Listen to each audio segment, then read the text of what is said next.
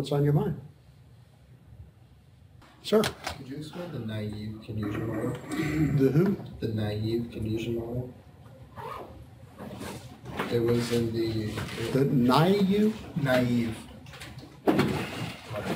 Naive. Naive, yes. The naive, their term naive is the same thing, thing that we use, I use the term sharp break.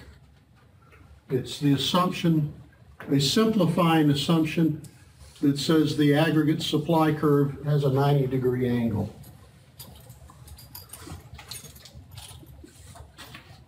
Naive Keynesian model. What does the term naive mean, to be naive? Unknowing.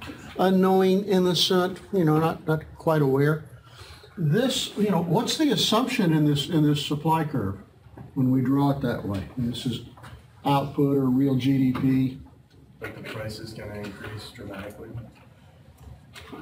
Yeah, that as you, as you start, say, down in a depression, and as you start coming out of it by stimulating aggregate demand, the assumption is prices won't rise at all until you get to full employment. And we know what really happens. We can't say it without the right color. What really happens is that as you start getting closer to full employment, you start getting some price increase too. And so the real curve looks more like the purple line.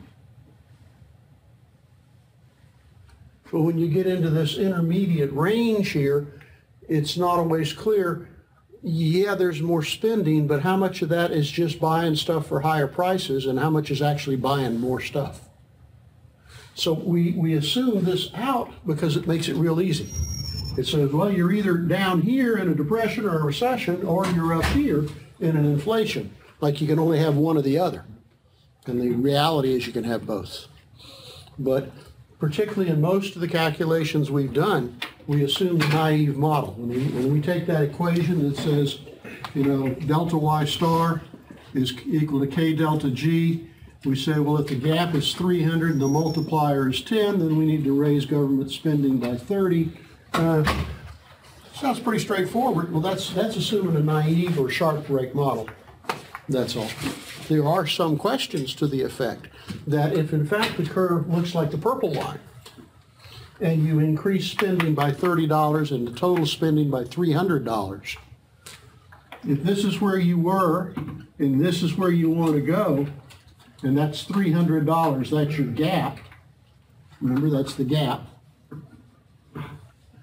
Well, if reality is the purple curve, you'll increase by $300 out to here.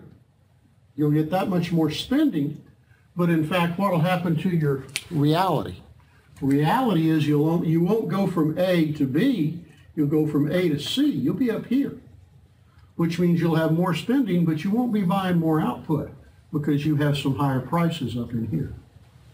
Okay? So if it says naive Keynesian, just think sharp break, these numbers, no big deal. If it says, well, if there is that slope, well, fiscal policy doesn't really get us as far as we want. It doesn't get us enough jobs. It gets us a lot more spending, but also some inflation. Okay, great question.